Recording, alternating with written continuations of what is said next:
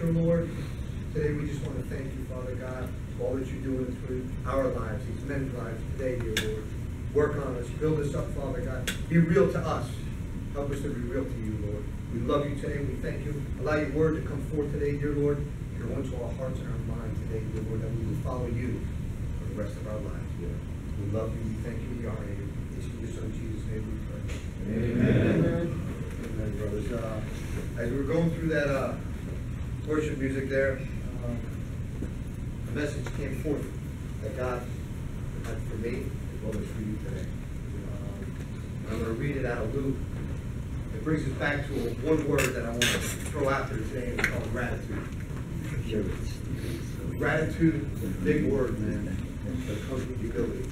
It comes from where God takes you from, realize who you are, and what He forgave us for. If we don't understand that, we don't understand our need for Him. That song right there, Count the Cost, the one before that, God counted all the costs that He need for me and you. When He created human beings to walk with Him, and we chose to walk away. God counted all that beforehand. And He said, I'm going to show my love on that cross, man, for you and for me. There's nothing like that today to give a new life for now and the one to come. And yesterday's dead and gone. You know why? Because God erased it. What you did yesterday, God erased. You understand that? And I know that I needed my sins erased. I don't know about you, but I needed my sins erased. That showed me right there that God said, I love you in spite of, I'm going to wipe all that out. All I want you to do is follow me. And I got a life for you, man, that'll blow your mind. That's what he's showing us today. Go to Luke.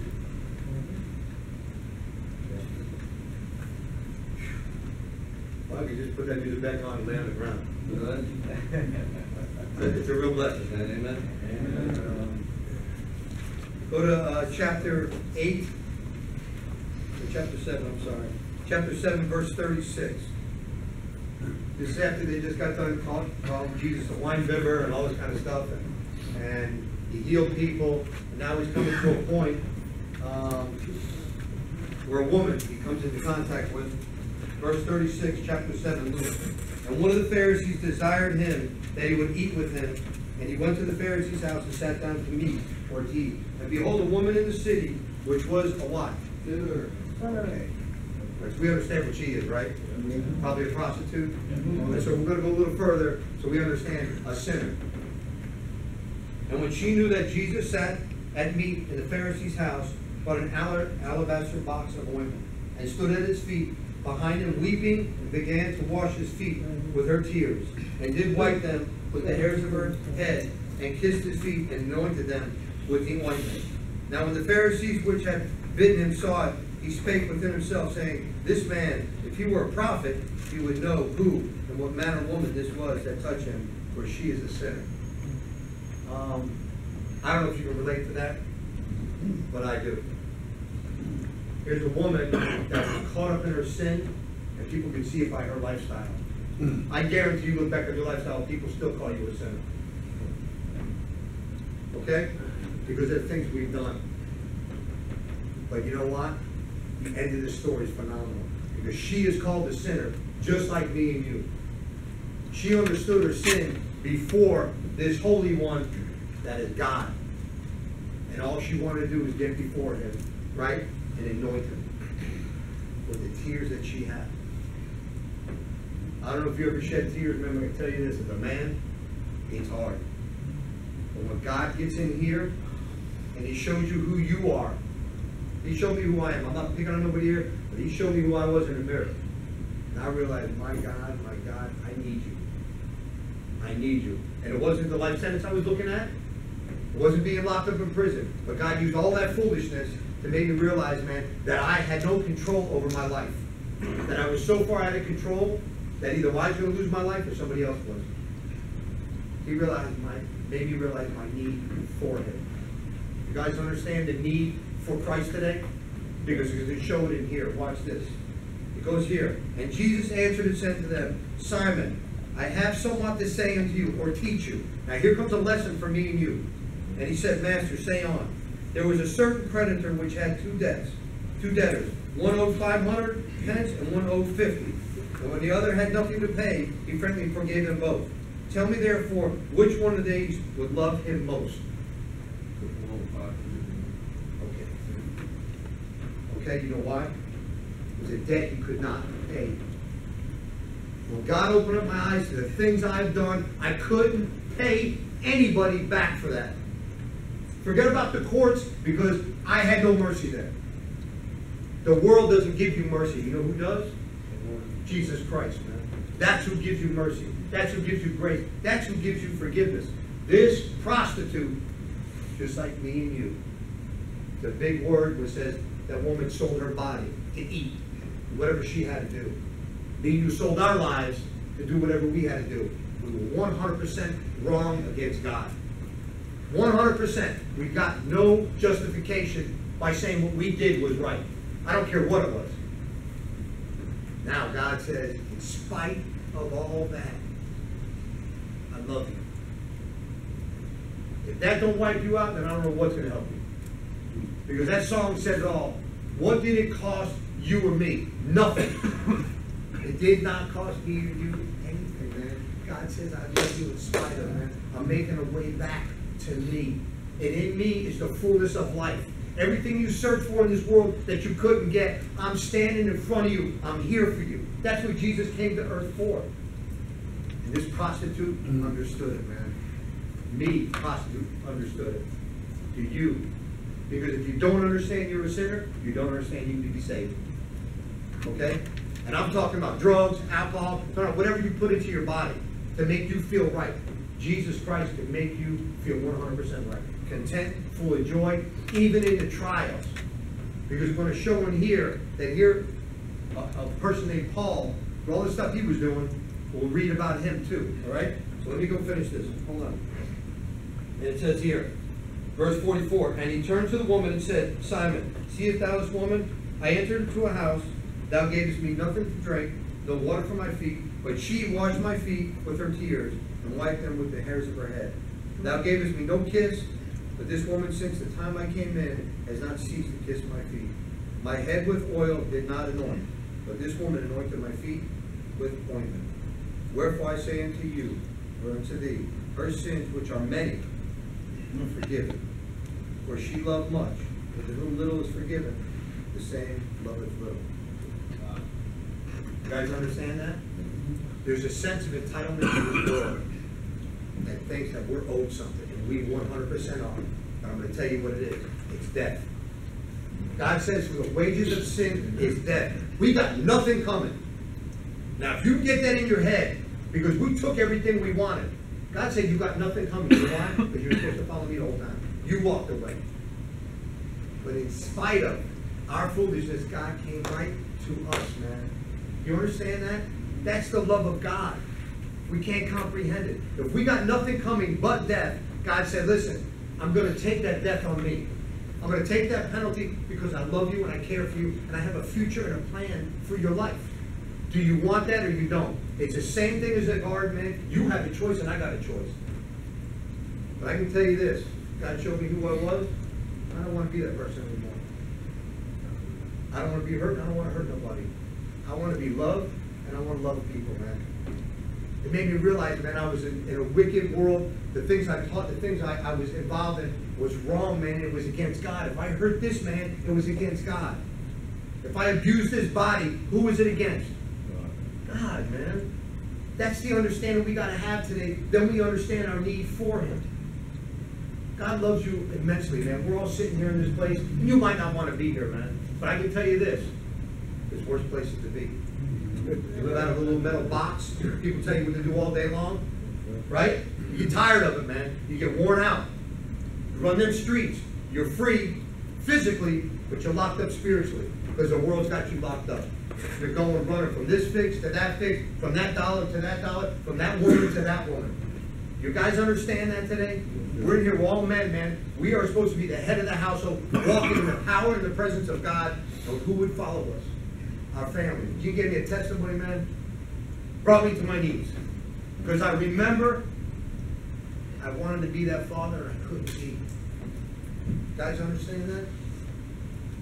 But the story is, now put it all back together. But go back to now, God being God the Father, and us being his child walking away. What do you think his heart is? But he doesn't hold it against us, man. He actually what? Chases us, puts us into a corner, makes us scream, yell, or hit our knees. That's humility, the part of humility. We realize our need for God, man. We all need God. I don't care what you have or what you don't have. Because there's nothing in this world that compares to God's presence in your life and my life. Nothing, man. because then we don't get the sense of, hey, I'm owed something. We get a sense of gratitude. Gratitude, man. That I'm thankful today that I'm standing here with you brothers speaking about the goodness of God. You know why? Because there's nothing on this earth that can pay for that. Mm-hmm. Nothing. I'd rather do this right here than have my business and work and make a dollar. Be honest with you. Because God pulled me out of a dark ditch, just like He pulled you guys out. But He has a plan. It's not just pulling you out. It's actually lifting you up now and pushing you forward. You guys want that or not? Because this prostitute wanted it. She followed Jesus all the way. You know where she's at today? Hanging out with him. You guys understand that? Mm-hmm. It's a bigger story than what we got here. We only live 80 years on this earth. Maybe a little bit more. I think my great grandfather was 102. Honestly, I don't know where he's at. I hope I see him, but I don't know if he's there. Okay? we weren't following the Lord, me and my, all my family. So look what it says here now, watch this. And he said unto her, Thy sins are what? Forgiven. Okay. All day long. If you understand what that cross and the cost that God did for me and you, right? You'll be grateful. Realize where he took you from. You know, a lot of times we don't want to be in a situation or circumstance where we're at, but God uses that to what? Mold us, to draw us in, man. This is a blessing here, man, because we do have the freedom to walk outside. You don't have a hold from this world unless you allow it. God's yoke is easy, his burden is light. He just wants to draw you in with his love. Send you forth. Build you up. Be everything in your life like he's everything in my life, right? We need him. Every day we get up, we understand the need. When Gene gave a, a beautiful testimony of just a, God, you know, putting something back together. Years and years of being separated, like we were with the Father, right? Jesus came and brought us back. And he does that with us, in relationships. We're, we were created a relationship with God and with each other. And I'm telling you, you can't have a good relationship with somebody without the Lord. Because it'll be all selfish and self-centered. Now, this prostitute understood. That's why with her tears, she was washing his feet. You know why? She was at God's feet. If we can stay at his feet, man, we're gonna be rich all day long in here. And you don't worry about what's in the pocket when it's not in the pocket. You understand? Mm-hmm. Because he said he'll feed you, he'll take care of you, he'll clothe you. Doesn't mean you don't work. He says if you're slothful and lazy, you won't eat. You know what I mean? So it's, it's understanding scripture what God has for us. He sends us out. It's not about everything we accumulate in this world. It's about getting to know God and everything He has for us. And in that, we will understand what we have. So a dollar has more meaning than it used to have. You, you guys understand that? So now a dollar today goes a lot further. Why? We're a good steward because we know it's His. My friendship with one of these brothers and your friendship with me is more important now. Why? Because I'm a steward of what God placed in my life, you're a steward of what God placed in your life. And that's His presence.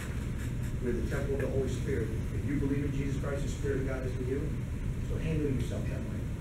That you be a light to somebody. You don't know who you run into that will need somebody, just a hello. How you doing, man? Anything I can do for you. You don't know how you transform somebody else's life by a, a word of love.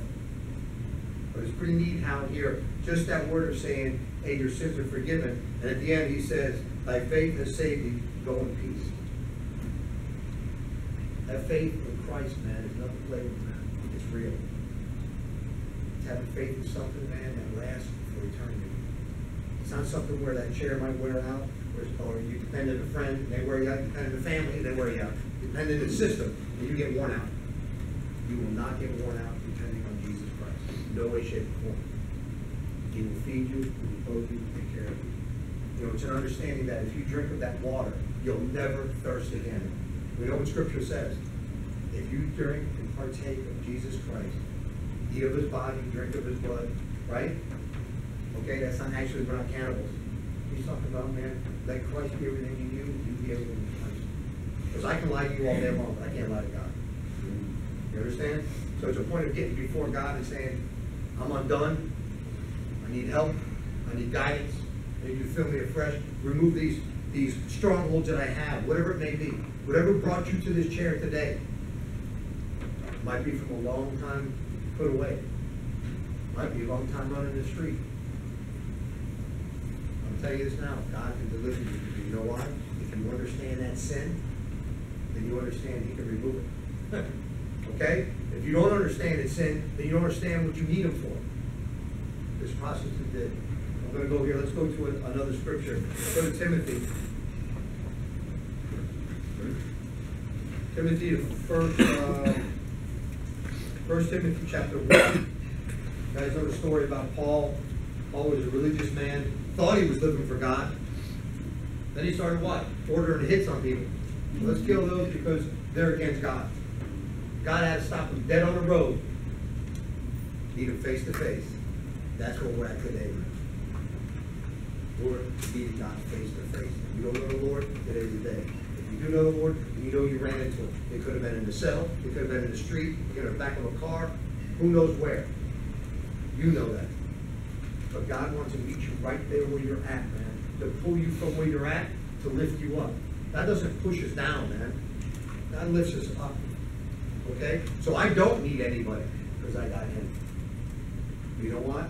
Having him makes me love everybody. It's a different, it's a whole different mindset than we've been taught, okay? Watch what it says here. Verse twelve, chapter one. And I thank Jesus Christ our Lord, who has enabled me or you, for that he counted me faithful, putting me into the ministry. Now, we understand that just because I'm standing up preaching, we're all involved in ministry. We have a ministry of reconciliation. What does that mean? Everybody separated from Jesus Christ or God, right? Those that are saved now have a ministry of reconciliation. To draw those in by our lifestyle, by our lifestyle, communication, what we do, what we say, draw people into to Christ. Not into ourselves, but Christ in us. Okay? So it says here, who was before a blasphemer, a persecutor, and insulting, and I obtained mercy because I did it ignorantly in unbelief. Well, I had a knowledge of God, but not of the salvation. I knew the things I was doing weren't right. There's no way, I can't say what Paul said here. I knew what I was doing was one hundred percent wrong. It was against the law, it was hurting people, it was no good. But I chose to do it because I benefited. And in return, I ran over my family, my loved ones, my business, everybody that I cared for, I ran over for what? For a dollar, for power, okay? You guys understand that? We do that all day long, man. Is a dollar worth a man's life next to you? Because if it is, you better cry out to God. There's no way, shape, or form that the creation or the person next to you should not be more important than a physical dollar bill or anything on this earth. Okay? We're made in the image of God. Remember that. All different walks, races, colors of people, we are all one in Christ. There's nobody better than anybody else in this room. Me or you standing there. I could be up here, I'm the same as you, you're the same as me. We're all one, one in Jesus Christ. You guys, you guys got that, right? So it says here, and the grace of our Lord Jesus Christ was exceedingly abundant, with faith and love which is in Christ Jesus. This is a faithful saying and worthy of all acceptance that Christ Jesus came into the world to what? Okay, you guys got that, right? Very simple, man. Book's not complicated. We make it complicated. I'm a sinner, he came to save me. Me, Christopher Joseph Ventries, he came for the foundation of the world, says, I love him, and I'm gonna save him from his foolishness. I'm gonna pull him out of that pit and set him on. That does not mean I didn't have to go through the hardships, man. Okay, he showed Paul how much he would suffer for his name's sake. You guys remember that? He said, I'll show you how much you'll suffer for my name's sake. And it says, to save, to, uh, into the world to save sinners, of whom I am chief. So Paul is saying now, he understands he was a chief sinner. You know why? Because he was a religious man, taught up in the old scriptures, the Old Testament, right? They're supposed to be showing love to his neighbor, and he was going after people and ordering people like Stephen, first martyr, got killed. He's the one that ordered it. Okay? So now he's ordering people to get killed, thinking he's doing the right thing. God called him on that road and said, hey man, you're kicking against me. Me and you kicked against God our whole life, until he opened up our eyes. Mine was in itself, and I'm grateful for it. I'm grateful for it, I'm grateful when I went back to court, and they give me another ten years. You know why I'm grateful for it? Because I am who I am today, because he changed me, man. In a bad situation, took everything down. He had to break it down to scratch, take it all the way down to nothing, where there's nothing there, then he can work with us. So I don't know where you're at in your life today, but I can tell you this. You hit your knees, start from scratch, man, and let him build this house right here. God loves you, man. Understand that. He really, really cares for you. No matter what the world says, no matter what people say, listen, Jesus Christ came for one thing and one thing only, man, to bring you back. Okay? So it says here, I'm a chief sinner. Howbeit this cause I obtain mercy, that in me, first Jesus Christ might show forth all long suffering, for a pattern of them which should hereafter believe on him for everlasting life. So Paul's life now was sold out. And he said, man, I'd rather just go be with the Lord. But it's better for me to stay here for what? To build up the church, the body of Christ. Paul gave his whole life man, after that. He got abused, his own people talk bad about him. I have the same stuff, man. I deal with people all day long. I got some people in the past that mock and ridicule that my life changed. Oh, Chris saw the light. I said, I one hundred percent did, buddy. He said, oh, you were scared of prison. I said, I went to trial, buddy. I went to court. I went to trial and I fought. I fought and I fought and I fought all the way through. But all in all, God showed me, man, I got you. So everything that went happened, happened, happened, he said, you'll take everything. I lost my family, divorce, everything. Everything came against me. My friends came against me. At the end of the day, I was standing there. I was not alone. The draw of losing everything had me crying out. Then there was a draw over here of love that outweighed my wife, my daughter, my business, everything. How can that be? The draw over here of something I couldn't see outweighed this over here that I could see. God said, man, just let it go. Let it go and follow. I got. And it took many years, man. Many years upon years upon years. And all through them years, God was faithful, even when I wasn't. God loves you, man, in spite of your screw-ups, man. My screw-ups. All he's saying is follow me, man. Surrender. This right here is a, a, a- sign of surrender, of gratitude. Thanksgiving, man, a song about being thankful, man. Be thankful where you're at today. You know why? God's in your life. Done with it, man. He is not done with your life or my life. It's a blessing every day we wake up, man, just to say thank you. I don't even like where I'm at, but I'm grateful, Lord. Sometimes I get up and I have a rough day and I said, man, I go back to a little red box I lived out of. I said, I'm doing good, man. I'm doing good, because I could be dead and in that box. And going straight to hell. God maybe He really showed me that what I was doing was headed me straight to hell. The crazy part is, I heard a pastor say this, and a lot of people didn't like it. He said, God had to pull you away from the family, because you were leaving hell. And everybody got mad at the service, and who does he think he is? I said, well, think about your lifestyle. I had to look at myself, I don't like what he said, but I wasn't following the Lord. I wasn't raising my family up that way, and I'm the head of the household. So if I'm off, what happens? We're off. The head's off, man, everything else is off. you get your mind and your heart right with God because of what he did, as Paul did, then the sufferings and trials that come in life are there for a reason, man. Number one, to get you close to God. Always look at your situation, and circumstances. Look in the mirror. What is God trying to do in your life first? Because you know what? He'll raise you up and send you out, man. That's what he does. He builds us up in him, sends us out to show love to other people. And we still get caught up in our own stuff. I had a brother, there was a brother that was here, living somewhere else now, needed to ride to church. I called one of my guys up, I said, hey, man, could do me a favor, pick him up. He never called. So Father's Day, everybody got a bonus for him. I said, how does that feel? he didn't like it. I said, what's my money, not your money? I'm giving it to you. Give it to everybody else.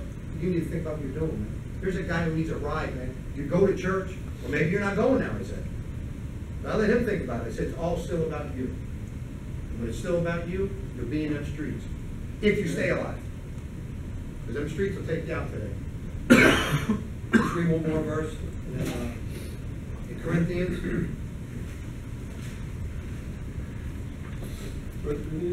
Yeah, First Corinthians, yeah, chapter one, just so we see that God will take something from nothing and make something out of it. Okay? First Corinthians, chapter one. um, I'll read it from verse eighteen. Chapter one, First Corinthians, chapter eighteen. For the preaching of the cross is to them that perish foolishness, but unto us which are saved, it's the power of God. Okay? That's what we're speaking about today. The gospel of Jesus Christ. Okay? For it is written, I will destroy the wisdom of the wise, and I will bring to nothing the understanding of the prudent. Where is the wise? Where is the scribe? Where is the disputer of this world? Has not God made foolish the wisdom of this world? For after that, in the wisdom of God, the world by wisdom knew not God. It pleased God by the foolishness of preaching to save them that believe. The gospel of Jesus Christ. God came in the flesh, the person of Jesus Christ, to make you to see. He said, let me show you how much I love. you." You're forgiven. He said, how can this man forgive sins? Only God can. He said, that's right. That's who I am. He healed people. He brought deliverance upon people. People still mocked him and ridiculed him. You ever watch Passion of Christ? Rough movie to watch. Crazy part is he went to that cross and he didn't have to. That's his love, man. He said, I'll take everything you've ever done, past, present, and future. I'll put it on me. And all I'm asking you to do is turn toward me and follow me. Is that that so hard? For me and you, it's hard to follow, right? It's hard for us to follow, man. We're rebellious enough. So watch this. It says this, verse twenty-one. For after that, in the wisdom of God, the world by wisdom knew not God, and pleased God by the foolishness of preaching to save them that believe. For first the Jews require a sign, the Greeks or the unbelievers seek for wisdom. A lot of people looking for wisdom in the wrong places. I tell you this, you have a fear of God, you have an understanding that God is real, you come to Him, that's wisdom. But we preach Christ crucified unto the Jews a stumbling block, unto the Greeks foolishness. But unto them which are called, both the Jews and the Greeks, Christ the power of God and the wisdom of God. You and ye are called from darkness to the light, which is Jesus Christ. You guys realize that? Everybody in here is called to come to God. Okay? Stand up and walk, man. Walk right to him, man. He's there. It says this, because of the foolishness of God is wiser than man, the weakness of God is stronger than man. For you see your calling, brethren, how that not many wise after the flesh, not many mighty, not many noble are called. But God has chosen the foolish things of the world to confound the wise. And God has chosen the weak things of the world to confound the things that are mighty.